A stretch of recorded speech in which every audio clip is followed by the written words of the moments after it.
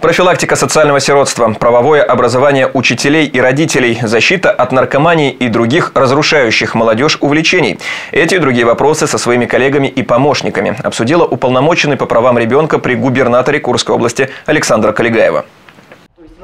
Это плановая встреча с активом омбудсменами из городов и районов области. Спектр выбранных тем продиктован самой жизнью, отметили участники беседы. Одно из ключевых направлений – просвещение и готовность к работе в современных условиях педагогов и родителей. Именно через образование взрослых дети могут реализовать свои права. За пять лет работы уже решен целый спектр важных вопросов. Нынешнюю правовую самостоятельность молодежи Александра Каллигаева оценивает на удовлетворительно. Прогресс налицо благодаря слаженным действиям многих структур. Одно из новых направлений работы – школьные уполномоченные.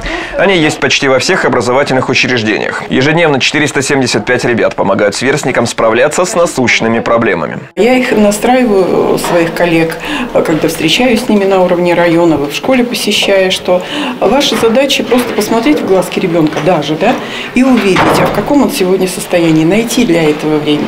Если какие-то недовольствия, что греха таить, между э, в семье они возникают, это тоже можно почувствовать. Для этого разные формы э, есть и у наших помощников, и у школьных уполномоченных. Все помощники уполномоченного по правам ребенка не просто выполняют свою работу. Дети и их родители учатся доверять таким людям, подытожила Александра Калигаева.